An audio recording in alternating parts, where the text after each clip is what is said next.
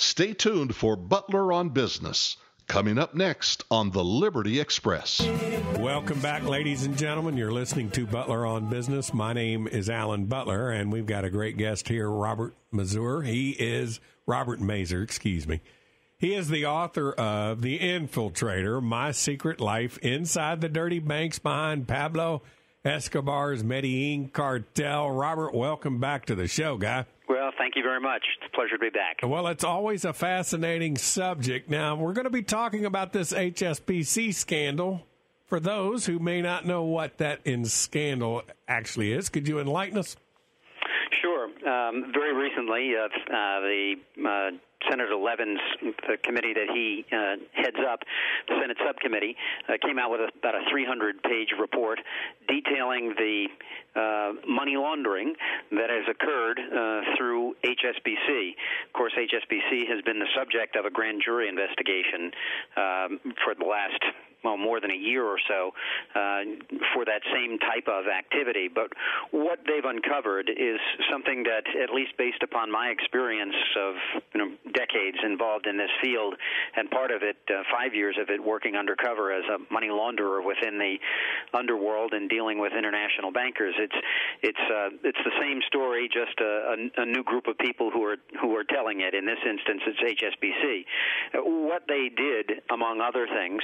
Um, um, is provide services to disguise the, the, true ownership of funds that were maintained in accounts. Um, they did quite a bit of that in their Miami office, uh, as well as uh, a Grand Cayman operation that they had that didn't even it wasn't even a building; it was being run out of Mexico. Uh, they are very very involved in what's called bulk bank note repatriation. It's bulk bank note business that's buying and selling pallet loads of cash all over the world. The only thing is that that they were doing that on behalf of account holders that were houses of exchange, casas de cambio, they call them in Latin America. And these are businesses that allegedly exchange dollars for other uh, currencies. But the U.S. government, for a decade, has been putting out notices to banks that they have to do enhanced due diligence if they're going to do business with these people because that is one of the number one businesses that drug traffickers use to move billions of dollars around the world. Well, they moved just for their own bank in Mexico in two years $15 billion dollars worth of U.S. currency back from Mexico into the United States, not doing the first stitch of any investigation as to who the true owners of that money was. Now, if that money, that 15 billion, was in $20 bills, it would have weighed nearly 800 tons. Who in the world did they think they were getting 800 tons from? And when you look at the bigger picture of their U.S. dollar repatriation, according to reports, they had brought in 106 billion dollars um, over a, a, couple of year period of time. 106 billion dollars um, is is more than 5,000 tons of cash that would have been brought in, and and very little uh, was being done to look into the backgrounds of of whose money this was. Uh, they were also taking in what's called uh, well, these are travelers checks, and the way that money launderers deal in big bulks of travelers checks is they'll buy sequentially numbered hundreds hundreds of them sequentially numbered in $500 and $1,000 uh, amounts. And any bank that receives literally hundreds upon hundreds of uh, money orders and MoneyGrams that are uh, that are sequentially numbered and are round figures should be doing some looking into who is this actually being accepted from? Who are the beneficial owners of these funds? What they didn't do uh, they they cleared more than $500,000 a day in traveler's checks for one Japanese bank that was moving in. All of them were in denominations between 500 and 1,000. They were signed by the same illegible signature. There was no way to be able to piece back who it was. Further investigation linked it to a Russian bank, and and the the job goes on to try to figure out who really owned that money. But over a quarter of a billion in those bulk U.S. Uh, dollars travelers checks were brought in just for that one Japanese bank. The the amount of uh, crimes uh, that have occurred uh, include also the stripping of wire transfers. This is a, a money laundering technique that's commonly used in the international banking community. It's used on behalf of business people who oftentimes, among others, it, it's used to hide who the money is being actually sent to, and it enables people to deal with sanctioned nations. And in this instance, a considerable amount of the uh, stripped wire transfers uh, related to movements of funds to Iran. There were 25,000 uh, transfers that were sent with the information stripped off of it to Iran. Uh, there were 28,000 uh, sensitive transactions totaling $19.7 billion between 2001 and 2007 involving strip wire transfers.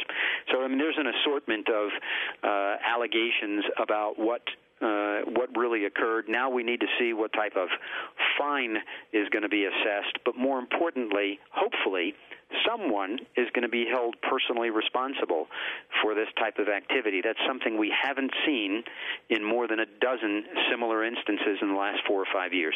This is Robert Mazur. He is the former DEA undercover agent who authored the book The Infiltrator My Secret Life Inside the Dirty Banks Behind Pablo Escobar's Medellin Cartel. Robert, we have about three and a half minutes left. As I recall, the last time we were talking about this, HSBC is not the only bank to have engaged in this money laundering activity, are they?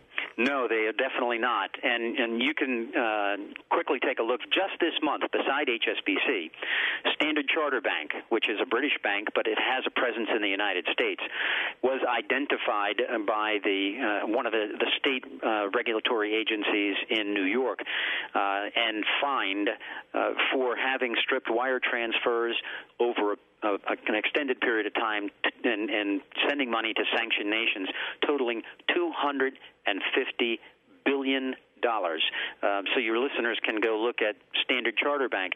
But when you go back through time, we have, and I'll tell you all the banks that, that have admitted criminal guilt and entered into a contract with the government admitting it and paying a fine.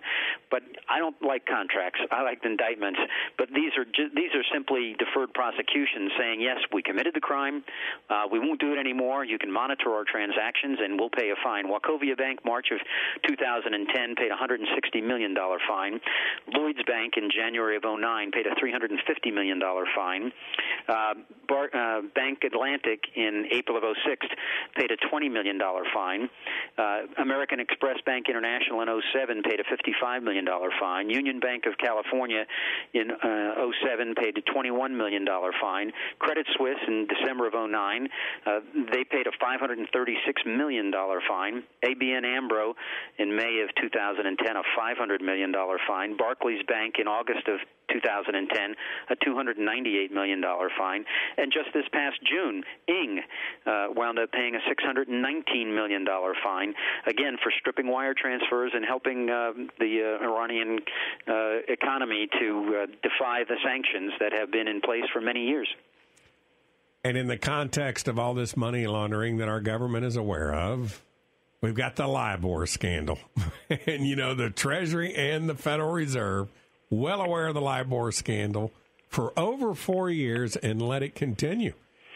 Yeah, you know, if if we really want to get serious about this, I mean, I'm I'm I'm happy to see that the regulators are doing their job, but the regulators are there to make sure uh, that procedures are followed properly and they make corrective actions, and they're not criminal prosecutors.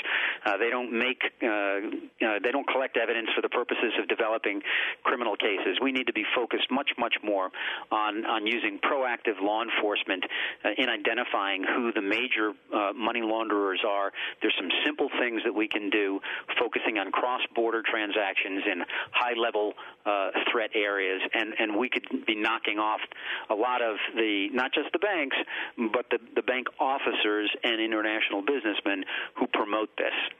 The website is the hyphen infiltrator.com. This is Robert Mazur, author of The Infiltrator My Secret Life Inside the Dirty Banks Behind Pablo Escobar's Medellin cartel. Robert, let's do this again real soon. I'd be happy to. Thank you.